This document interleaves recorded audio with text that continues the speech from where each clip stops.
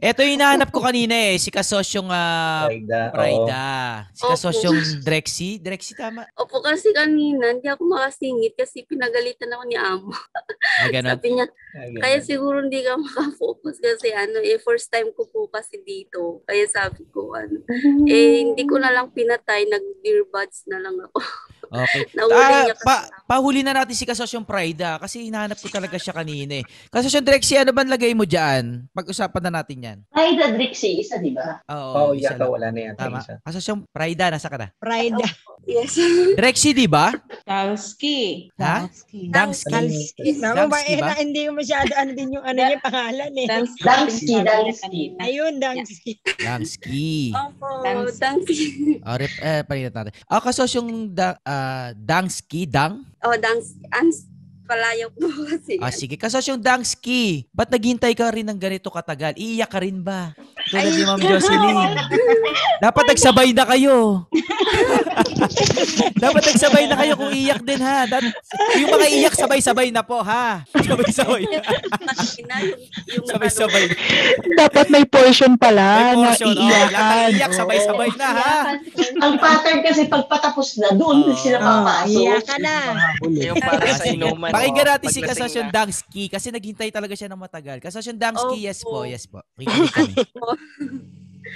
Bali, yun, ah, kilala niyo naman na po kasi Ah, kanina. Kasi dati, apa. Bali, pauwi na po kasi ako, Sir Arvin. Mm-mm. Ano, na-extend lang yung flight ko. Ngayong katapusan na sana ako ng June nung uwi. Tapos, nung nag-post ka sa ah, KMG na, na, yun nga na, na ano na yung libro, na yung libro mo, tapos Apa. ito, tapos nagtanong ako, chinat kita, tapos paano po malalaman si ano, paano po makikita or makakausap si kasosyong Ann. Tapos, yun, doon na ako nag-start na, kasi ang tagal lang nag-ano sa tanong ko kasi chinat ko na si kasosyong Harold, kasosyong Chikoy. Mm-mm. Yan po, nagugulan po kasi ako kasi ayaw ko na ulit malugi. Ah. Yun din, meron akong kahit konti dito na kapital, tapos nag-decide ako na, na magtayo ng parlor. Mm-mm. Pangarap ko kasi po yung parlor. Tapos, sabi ng ate ko, hindi makapatayo ng parlor kasi nga, ano, gawa ng pandemic. Tapos yung pwesto na, na pipiliin natin is, ano, nire- nire-renovate pa. Tapos po sabi, tapos sabi niya, meron naman ako dito ano, meron naman akong ah, tindahan na nagsara na. Sabi niya, kung gusto mo, hiramin mo muna yung tindahan ko, magsari-sari store ka muna habang inaantay mo yung ano, yung yung parlor na na gagawin natin, sabi po niya. Mm-mm. Kaya naguguluhan po ako na kung ano yung ah, saan ko igugugol talaga yung pera kasi parlor yung nasa isip ko noon kaya ako nag-ipon. Kaya ako pumunta dito. Tapos sabi naman ng partner ko, pwede daw ako magluto-luto. Magluto-luto ng mga foods, snacks, tapos pwede niya ibenta doon sa sa mga ano trabahador niya, ganun. Kaya nalilito po, po ako kung ano ba dapat ang gagawin ko para hindi masayang yung pinaghirapan ko kasi mag-forward na po ako eh. Ah, okay, Na ako okay. babalik dito. Mm, Very good na decision. Kasosyon Dangsky, nalugi ka na dati? Opo, kasi nag nag nag ah, titinda ako ng homemade goods. Tapos ano po, naggagawa ng wine. Yan Ah. ibinebenta ko din. Hanggang sa naubos na yung yung capital ko kasi. Yung parang ano po ay nakakaipon ako pero meron na dati dito nagwento eh. Nakalimutan ko lang yung pangalan na pag may naiipon na nahuhugot, Mm-mm. yun po yung yung, yung Nagagastos. papagawa sa yung sa Ipin. ngipin ata ng asawa niya. Ah, ah. Opo, yun. Eh, parang sabi ko, parang ganito ako ah. Sabi ko na, na may naipon ako. Tapos parang may Ah, wala. nadisgrasya, ganyan. Nahugot ko din po. Kaya, sabi, kaya na parang napilitan ako na sabi ko parang kailangan ko ng mas malaking kapital. Kasi yung kon- konti na nga lang na kapital ko, parang nahugot pa. Hindi ko alam kung anong gagawin. Okay. Bakit parlor ang target mo pag uwi ng Pilipinas? Kasi po, Sir Arvin, ano, ah, yun po yung unang talagang gusto ko kasi three years akong nag-parlor, tapos nag-therapist din po kasi ako. Lahat ng, ng gawain sa parlor, ah, alam ko po, liban lang sa, liban lang sa paggupit sa lalaki. Mm. Yun po. Tapos nagmamassage. Kaya yun po yung, na, na, ano ko, parang kay, ano, kay kasosyong Lenny, Mm-mm. na parang nandun, parang nandun yung mas marami akong karanasan. Mm. Okay, ang next kong tanong, bakit ka natutong maggumawa ng wine? ano po, nag-aral din po kasi ako ng ng pag-preserve ng ano ng foods like that parang sa cookery ganun. Kasi nag uh, major ako ng HRM pero ang natapos ko talaga sa agriculture. Okay, okay. Pero bakit ka natutong gumawa ng wine? Research lang? Ano po, yung nagpag-aralan ko na mag-preserve ng foods and then tinuro din po kung paano kasi nag-bartending din po ako. Okay. Nakapagsimula ka na magbenta ng wine, di ba? Hindi po, parang ano-ano Hindi ka lang. nakapag-start makapagbenta talaga ng wine na produce Hindi. mo? Hindi. Hindi. Ano lang, hanggang ano lang inabot mo dun sa wine? Hanggang na, hanggang sa natapos lang po ako sa ano ko eh, sa trabaho ko sa hotel. Isinabay ko siya sa hotel eh. Ano Pero mo sa wine? sa- Magtimpla lang ng wine na? Kala ko nag, Hindi, kaya mo mag-produce? Ha? Matrabaho po yung wine. Kasi wala po akong alpong brand na nilalagay. Kumbaga natural lang siya ng wine. Tapos inintay ko siya na ano na ma-formulate mag ano siya talaga mag, maging wine. Mahirap siyang gawin. Okay, okay. Very good. Okay, ganito. Kasosyong uh, Dangski. Sa usaping parlor, kayo nga kauwi? Sa August na po. Okay, sa August, hindi pa rin profitable, profitable ang parlor. Kung time frame ang pag-uusapan, sa August hanggang December, siguro December baka pumalo na. Baka lang ha, hindi pa natin alam. Pero after that, ba, parang hindi pa din ganun kapalo eh, no? Pero okay kung gusto mo yung parlor. Pero kung given the, ano, the reality ng sitwasyon, hindi panahon ng parlor ngayon. Hindi ngayon yun. Ngayon ang tanong, anong ibang option? O marunong ka mag-wine. Yung narinig ko yung wine, ting ting ting, pera agad eh. Kasi kasosyong seal, oh. Ano masasabi niyo sa kanya kasosyong seal? Ah, ako agree ako sa wine. Ma, yayaman ka dyan. Hmm. Maganda yan. Oh, kita niyo si love Kasosyong Silo parang lumiwanag din yung mata kasi may may pera sa wine. Sabi ni Kasosyong Dangski, kaso mahirap po yung wine, mahirap. Yun yung exact yung Yun exactly yung, yun. yun ang exactly ang may pera. Yes, yes. Yung mahirap. Lang gumagawa. Yes.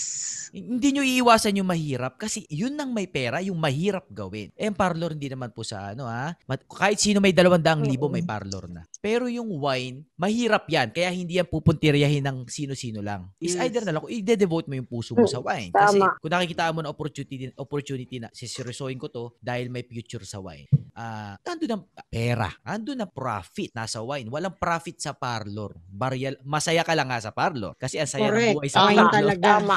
Fine Pero- talaga. Ang profit, Yan yung sinasabi talaga. ko, yung may yung pera nasa mahirap. Kung ano mahirap, yun ang gawin nyo, nandun ang pera. Mhm. Eh, kung hindi ka man expert kasosyong Dangski sa wine, pero nandun ka na eh. eh dalawa lang naman ang option eh. Wine or parlor. Mm. Kung mamimili ka, doon ka na sa may, malaki ang markup. Kahit mahirap, may, may- bata pa naman tayo. eh. Mm. Kaya pa natin maghirap eh. Kaya natin Saka pigil. yung ipuputap niya kasosyong Arvin dun sa paggawa ng Mm. wine, hindi ganun kalaki sa ipuputap niya na equipment para sa pag, pagbuo ng Pag-parlor. parlor. Mm. Parlor. Mm, kasi nasa testing period pa siya eh. Oo. Ah, oh, Magkano lang siguro Kasi yung- Tunugan siya ng pera Yan. pagka bumili na Oo. siya agad ng equipment tapos hindi naman mapapa, mapaparan ng maayos yung business. Rerenta ka pa sa parlor, yung over yung cost mo monthly, ano ikakainin ka. Saka maraming competition sa parlor. Oo. Lagi ko sinasabi, piliin nyo yung bagay na mahirap. Bakit? Kasi mahirap makakapasok ang kalaban.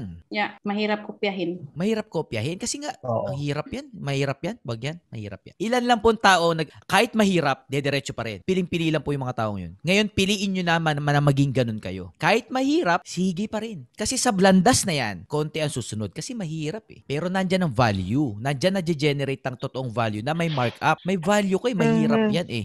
Lahat na mahirap kayang padaliin. System lang yan eh. System lang po yan. Pero sa paano mo ba titignan? Mahirap yung why? Ang trabaho. Yun nga yung pinagdidiinan natin. Ayan yung mahirap. Nandyan ang pera. Nandyan ang pwedeng trabahuin. Hindi yung common. Walang masama sa common ha.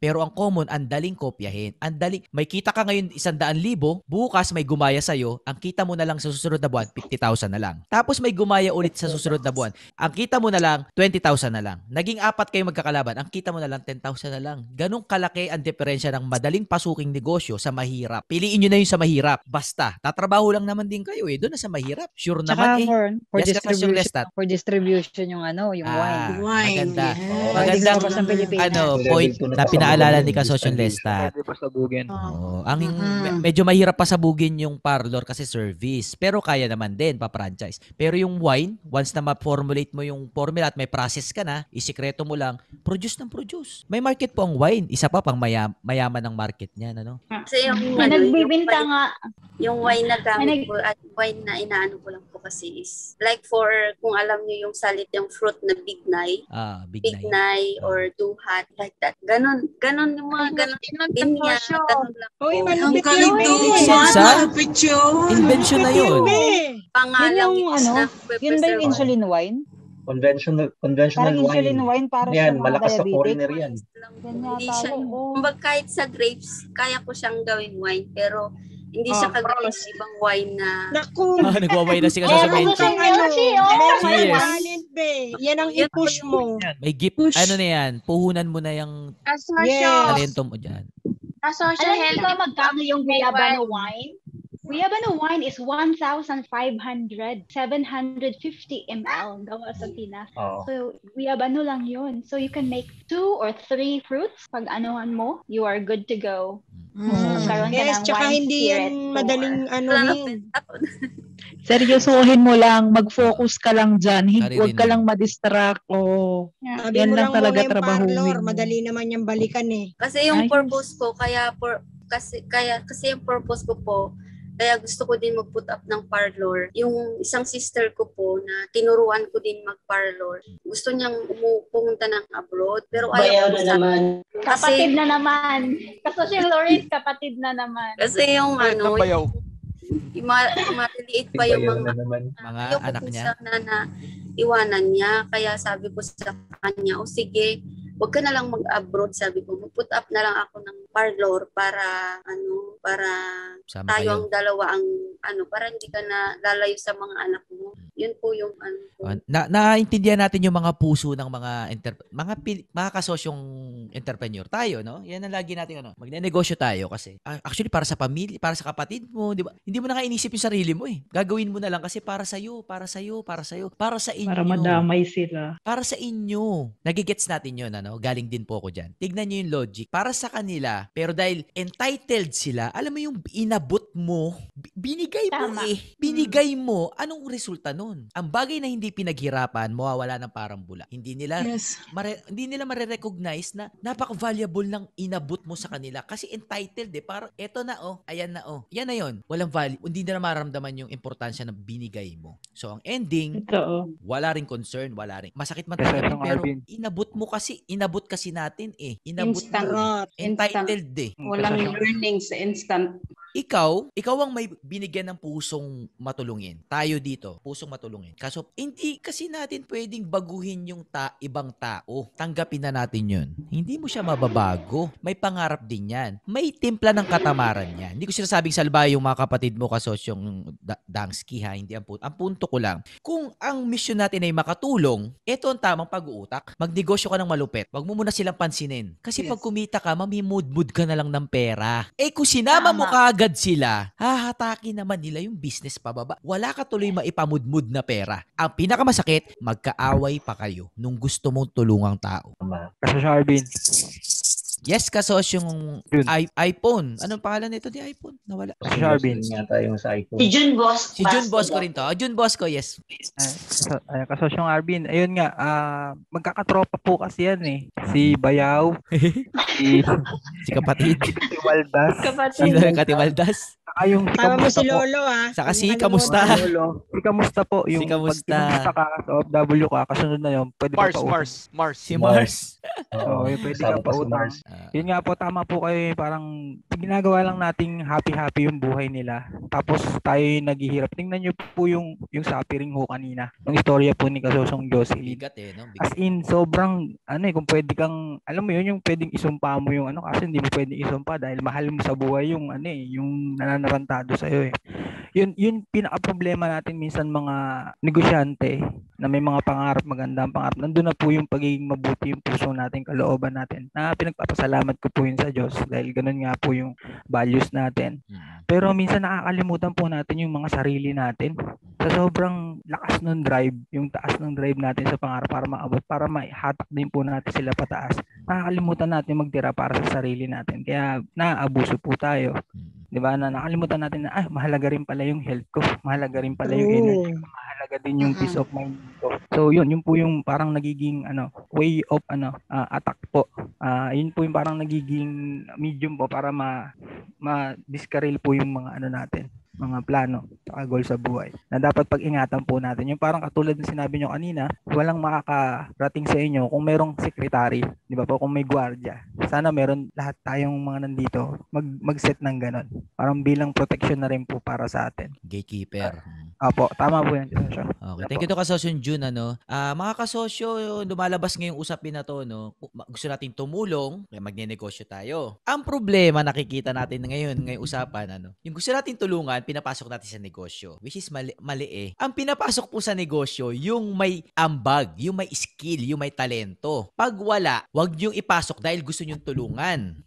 Dala na po tayo dyan. Kung gusto nyo tumulong, abutan nyo ng 2,000. Abutan nyo ng 3,000. Pero tapos na. Yung tulong kasi na pinasok mo sa isang kumpanya, binigyan mo ng trabaho, abot yun eh. Entitlement, mali siya. Kasi tinuruan mo naging tamad yung tao. Ang pinapasok sa negosyo, yung deserving. Yung may galing, yung asset siya, masipag, yung pinapahalaga ng negosyo mo, inaangat yung negosyo mo. Bayad naman yun eh. Bayad yun. It's an exchange of value. Magaling ka, babayaran kita. Pag hindi mo naaabot yung antas ng, ng trabaho na gusto ko, dapat konti rin ang bayad ko sa'yo or tatanggalin na kita. Ang mahirap sa taong gusto nating tulungan, pag pinasok mo sa negosyo, hindi mo matanggal-tanggal. Kasi ang kalooban mo, tinutulungan ko kasi to eh. Ang ending, buong negosyo mo na binhi, alam mo yung binhi na sinasabi ko, huwag mong papakawalan yung binhi mo kasi pag nawala yan, mas lalong wala kang ipamumudmud sa, ba- sa mundo. Kaya it's either Yeah. tapyasin mo na yung mga pangit na sanga. Wala pong masama doon. Wag po kayo makonsensya na. Kawawa naman kasi. Alisin yung mga peste. Oo, tanggalin nyo na yung mga sanga-sanga na yan. Kasi pag napalaki nyo yung negosyo nyo, itong realidad ha. Halimbawa, nagalit lahat ng kamag-anak mo sa'yo. Sagad mo na. Dahil nagsalbahi ka sa negosyo, lahat ng kamag-anak mo nagalit sa'yo.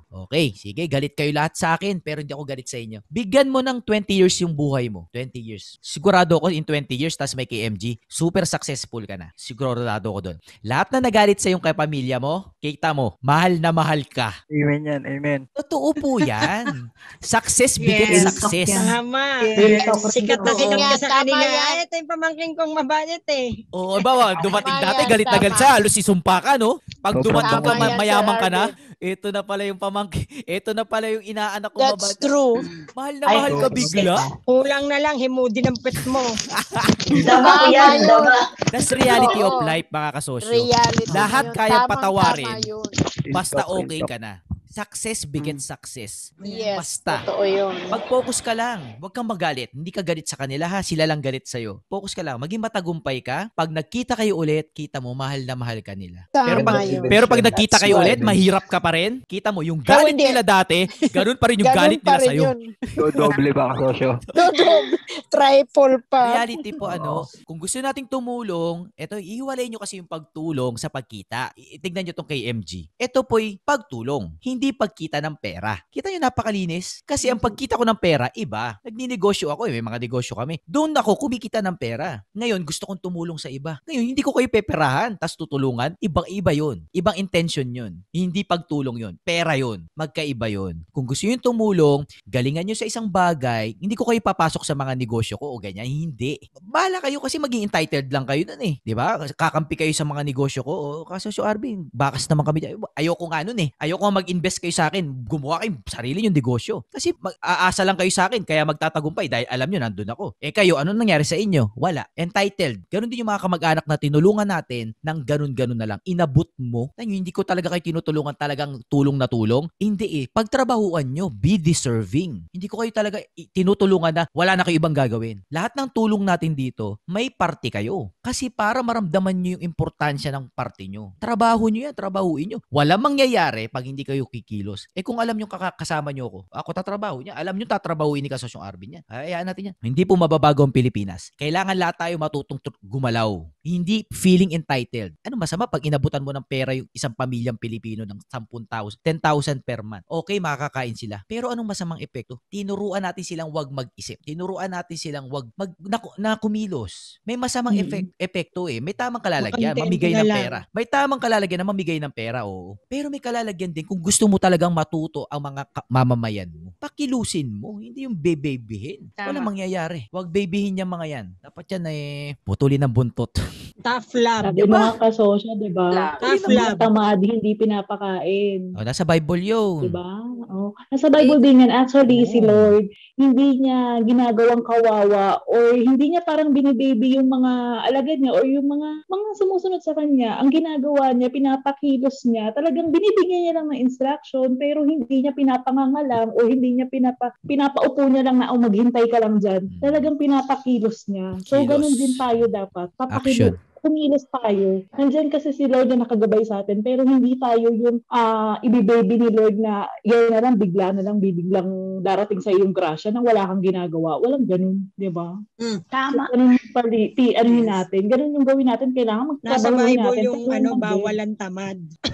Tulungan natin yung mga pamilya natin. Tama. Thank Nasa you, Kasyong May. ha. yan. Oo, Ah, nagko dapat nag-comment po si. Kasosyon Dexter sa live, no? Gusto kong basahin. Sabi ni Kasosyon Dexter Yauder na OFW na may negosyo yung marami sa Pilipinas. Sabi niya, marami na nagsabi na solid na kasosyo kung ano ang possible na kinahihinatnan ng gustong magparlor. Kasosyo, lalo na yung dahilan kung bakit mong gustong piliin yan. You just need to consider other side of things and change your perspective. O, magandang punto. Gusto mo magparlor, hindi dahil talagang, actually, si Kasosyong Dangsky, hindi talaga niya pala gusto. Gusto niya tulungan yung kamag-anak niya. Kaya hindi magtatagumpay. Bakit? Kasi may entitled na kasali eh. Parang, ah, okay, may Mm. parlor. Saya. Saya, hindi na ako nag-abroad. Ang saya kasama ko yung pamilya ko. Yun nga yung main problem doon. Kaya hindi magtatagumpay yung business. Kalahati mo, kung 100% kayong may-ari, 50 mo, entitled. Ano ba ibig sabihin na entitled? Yung feeling, ano ba yung Tagalog na entitled? Parang kaintindihan. Ha?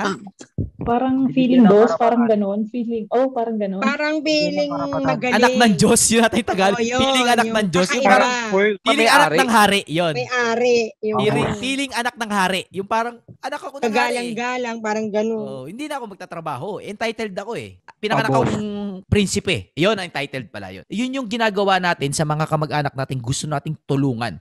Kaya binigyan natin ng trabaho. Tignan yung logic ha. In the first place, kaya walang trabaho yan kasi hindi yan qualify na magkatrabaho. Bakit hindi qualify? Yes. Hindi kasi hinasa yung kakayanan or hindi naging maabilidad. Kaya Hindi ikaw, kukunin mo ngayon yun. Kasi mahal mo eh. Bibigyan mo ng trabaho. Ngayon, kumuha ka ng hindi qualified. Ibig sabihin, hindi magtatagumpay ang negosyo mo kasi ang kinuha mo hindi qualified. Ngayon, kung gusto mo talagang tulungan lang yan taong hindi qualified, mag-hire ka na malulupit kasi kikita kayo ng magandang pera. Tapos, mabigay ka ng pera sa mga kamag-anak mo. At least hindi pa kayo nagkagalit. Katulad ng ini, iniiyak ni Kasosyon Jocelyn na, ah, sakit-sakit. Tinutulungan mo sila pa yung maghatak sa'yo pa ba? Reality, nunukin na natin yan. Kamag-anak, si bayaw, kapatid, yan po ang maghahatak sa inyo pababa. Masakit tanggapin, pero yun ang kwento eh. Ang katotohanan. Wala nang lokong hindi mo kakilala sa'yo kung tutuusin. Kadalasan nang loloko sa'yo, kamag-anak talaga. Totoo. Talaga. Yung inaasahan mong kakampi mo na hindi ka, na titignan yung likod mo, hindi maipaliwanag. Bakit ka mag-anak pa? Bakit si ate pa? Bakit si kuya? Ba't si bayaw pa ng loko sa akin? Sa- sana, yung hindi ko na lang kakilala eh. Pero ang katotohanan, yung kakilala pa natin ang hindi nanloloko sa ate. Madalas nakakabiktima lalo yung kamag-anak. eh. O, tanggapin na natin yan. No? I-quote man nila tayo, kasas yung Arvin. Sinisisi ang mga kamag-anak na nanloloko sa mga kapamilya. Eh di, alam nyo na yung katotohanan na yan. Ano? Pagtulong, huwag nyo nang asahan ng balik yan. Tulungan nyo, abutan nyo. Ganun lang. May pang-abot ka ba? Ngayon, kung wala, magtrabaho tayo ng malupit. Galingan natin sa negosyo natin para may pambigay tayo. Di ba? Ang bigay-bigay. Huwag nyong paghahaluin. Pag for profit, for profit. Pag for mission, mission. Walang profit-profit. Huwag yung paghahaluin. Yung iba, pinaghahalo. Tumutulong daw sila. Pinagkakakitaan naman. Nandidiri po ako sa mga yun. Huwag nyo kaming gawing loko-loko. Alam na namin intensyon nyo. Ang punto ko sa inyo mga kasosyo, mapag, mapagbigay ang ating mga puso. Gusto na matulungin ang ating mga puso. Ang ina-advise ko po, paghiwalayin nyo ang pagtulong sa pagkita ng pera. Huwag nyong paghahaluin. Kasi hindi po magiging matagumpay. Galing na po ako dyan. Pag-hire ng kamag-anak, pag-hire ng mga kaibigan, pag-hire ng mga mababait mong kakilala, ganyan-ganyan. Gusto mong tulungan. Wala po lahat nagtagumpay. Isa pa, may bigat siya eh. Like nag-hire ka ng kapatid mo, ang hirap tanggalin. Ang bigat tanggalin. Eh, hindi mo Ang kakilala. hirap pagalitan. Ang hirap pagalitan. Ang bigat Ang hirap talaga. utusan. Ang hirap utusan. Basta ang hirap talaga. Kaya yung hindi mo na lang kakilala i-hire mo. At least masigawan mo, ma- masigawan mo, relationship nyo, employee-employer. Eh yung kamag-anak mo, hirap pagalitan. Eh. Pag, ikaw pa sinisigawan eh.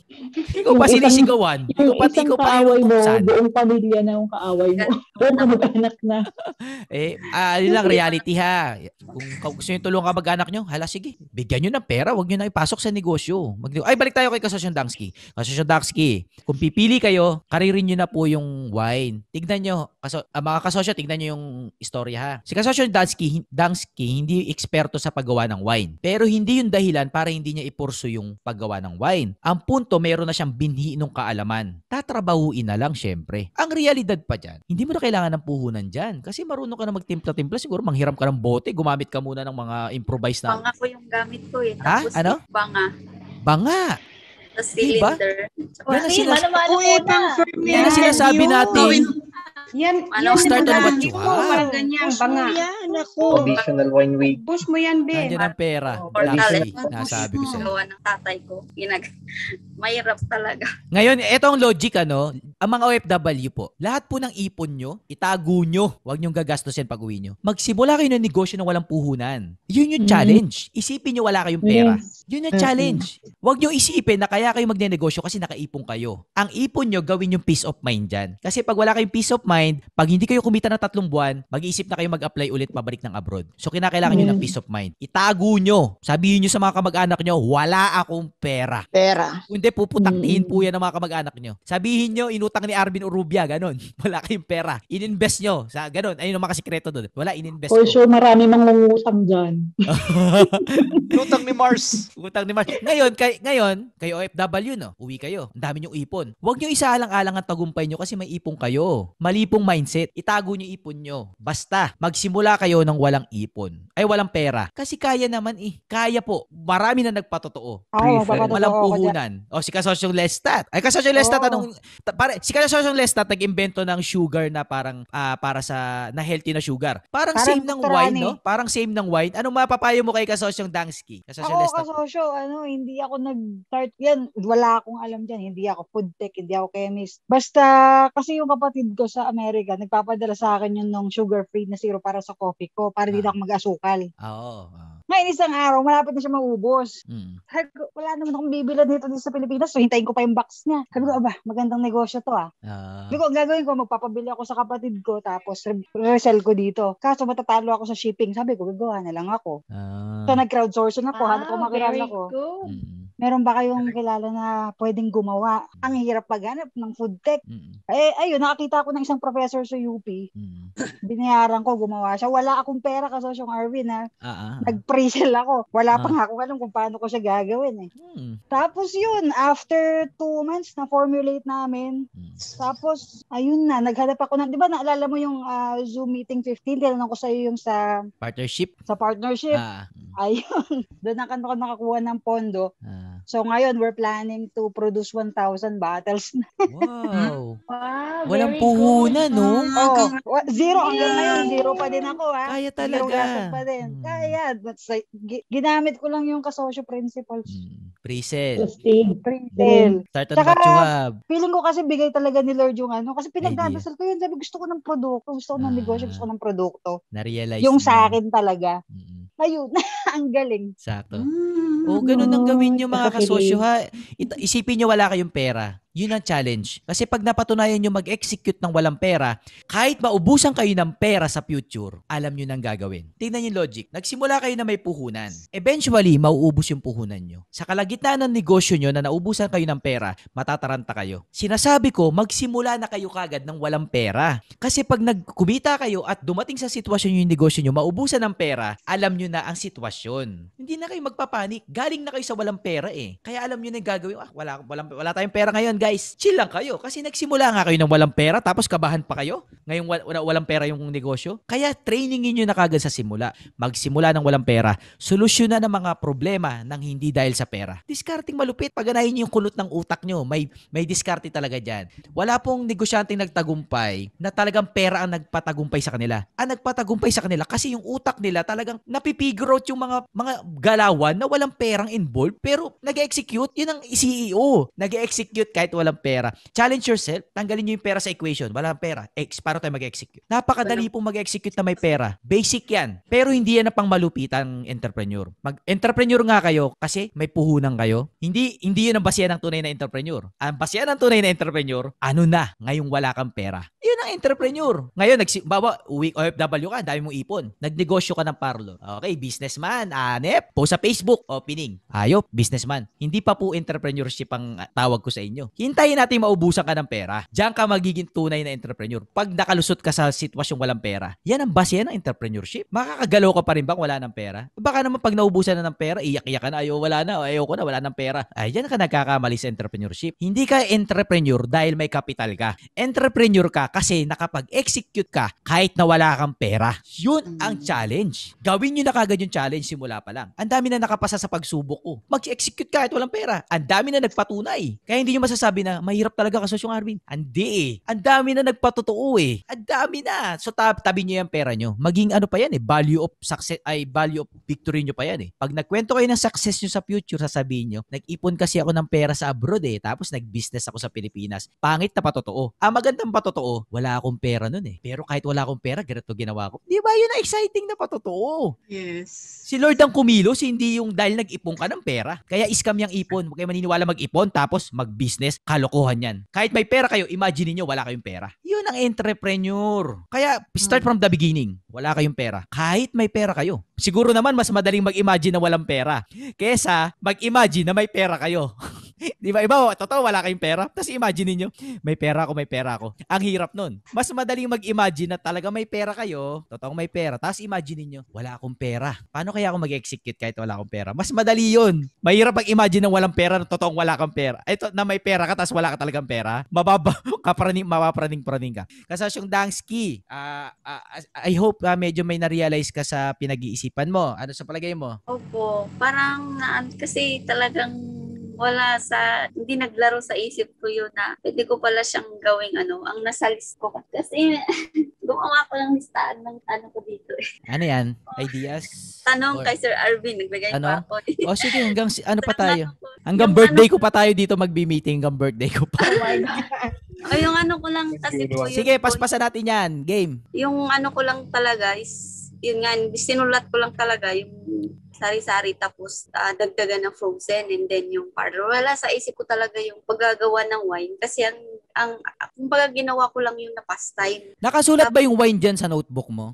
Wala po, wala. Ba- bakit mo nasabi kanina yung salitang wine? Kasi yung narinig ko yung wine, alam ko na yung papayo ko agad. Bakit mo nasabi Kasi- yung wine kanina? ano po yun, iniisip ko lahat ng mga naging ng yung mga na, binebenta ko noon kasi nag, nag yung kapatid ko din nagbi-bake. Hmm. Ay, kaya ang ginagawa ko naman, binibili ko yung tinapay niya, ibinibenta ko naman kasi hindi ako Ah. marunong mag-bake. Hmm. Yun po. Tapos, nung napagtripan naming dalawa, sabi niya, bad, sabi niya, try nga natin gumawa ng wine. Kasi yung HRM yung kapatid ko po, Ah, and ah, ako, ah. may mayroon namang karanasan ah, pagdating sa bartending. Kasi habang nag-aaral ako noon ng agriculture, yung extra time ko, ti- tumatakbo ako sa ibang room. Oh.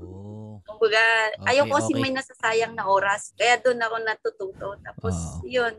Kaya hindi po talaga sumagi sa isip ko yun. Ah, si Tapos, Lord na yon. Si Lord na yon na lumabas sa bibig mo yung wine. Kasi kung hindi ko narinig yung wine, hindi naman namin alam na may background ka sa wine. Si Lord na yon. Ah, focus your ah yung attention mo sa wine. Bago ka maumuwi, may ma- may may timpla ka ng wine. Siguro naman makapag-experiment ka na diyan or kung ano man. Pag uwi pag uwi mo, may produkto ka na. Tika saan kan lugar, Dangsky? Nueva Vizcaya po. Kasi Nova, Bis- Nova Vizcaya. Okay, okay. ang ano na, na wine, ang talagang usod talaga na wine sa amin. Kung Saan ka sa Nueva Vizcaya? Ah, tinanong ni Kasasyon Payombong po. Ah, malapit ka lang ata sa amin sa Solano. Ah, Malapit ba tayo? O baka magkamag-anak pa kayo. talaga? O hindi, Castillo. Doon ako Ex, nagpa- ex mo ba si ano? yung mga kwento. Ex Wala. mo ba ano? Wala akong ex. Ah, wala ba ex? Magka, ah, magka, nagkahanap pa na ng kamag-anak. Oo, doon ako nagtrabaho. Kalapit kayo, magkalapit? Hindi, yung ano, hindi po, yung ano ko, yung mister ko lang kasi taga doon sila. Talagang sa Solano sila talaga, sa Nueva Vizcaya. Ah. So, nag, ano lang kami, lumipat lang kami doon. Ngayon lang. Product, Baka product. makita tayo doon. Oh, product, focus sa product. Yes, Wine product yan, may pera dyan. Kasi Wine. nag-struggle, nag-struggle din po ako sa Saan? pag-iipon. Kasi nung first time na punta ko dito, may kapatid din po kasi ako dito. Hindi nga totoo yung Tapos, pag-iipon. Ang pag-iipon, Opo. inipon yan para maubos. Inubos. Inubos po talaga. Actually, hindi talaga ako dapat makaipon. Kumbaga, ano lang eh, nagiging wise lang ako. Pero Kumbaga, magpasalamat pag may ipon ha. Daba, eh, ma- ewan ko parang nagiging ano, nag-ipon tapos may pinagkagastusan. Parang hindi kayo bless. Dapat bless kayo kasi nung kailangan ng gastusan, meron kayong ipon na panggastos. Meron kayong ipon pang Dapat gastos. bless tayo yung feeling. Hindi yung parang, Yes, ako ganun. ano ba yan? Ah, nakaipon Naubos nga. May ginastusan naman. Parang, parang, dis, parang dis, ano Be pa kayo eh. thankful. Parang Kasi bitter pa kayo, no? Dapat ano. hindi po ganun. Ipagpasalamat natin na nung panahon kailangan ng gastusan, may naitabi. Bless tayo. Although Amen. naipo, nagastos ka. Hindi nga kasi yan ang entrepreneurship. Ang entrepreneurship, may ipon o wala, may business ka kasi nag-execute ka dahil dahil hindi sa pera. Basta iwalay ibalay ang pera sa entrepreneurship. Hindi totoo ang pera. Ang pera ay isang ilusyon lang. Hindi nyo kailangan ng pera para magawa ang gusto nyong gawin. Yan ang pinapaliwanag natin dito. Lag, ewan ko may nagsabi lang kasi na kailangan mo mag-ipon para magawa itong bagay na to. Kailangan mo ng kapital para makapag-business. Hindi po totoo ang pera. Ang pera po ay hindi totoo. Tanggalin niyo yung pera sa utak nyo. Lahat ng bagay na gusto nyo gawin, magagawa nyo. Maniwala kayo sa akin. Bakit hindi nyo magawa? Kasi iniisip nyo kailangan ng pera. Yun nga ang pinupunto ko. Hindi totoo na kailangan nyo ng pera. Tanggalin nyo sa utak nyo ang pera. Lahat kaya nyo i-execute. Kaso kala nyo, kailangan mag-ipon. Kaso yung Arbit para makapagsimula na ito. Tang tanggapin mo na hindi mo kailangan mag-ipon. Maniwala lang kayo sa akin na hindi kailangan ng pera. Makakaisip kayo ng paraan. Laging may paraan na walang perang kinakailangan. Ang pera, darating yan. Yes. Execute muna, saka ka magkakapera. Hindi yung may pera ka, saka ka makakapag-execute. Babalik, baliktad lang talaga ang mundo. Ayun ang kasosyo malupit group. Walang pera-pera, makaka-execute.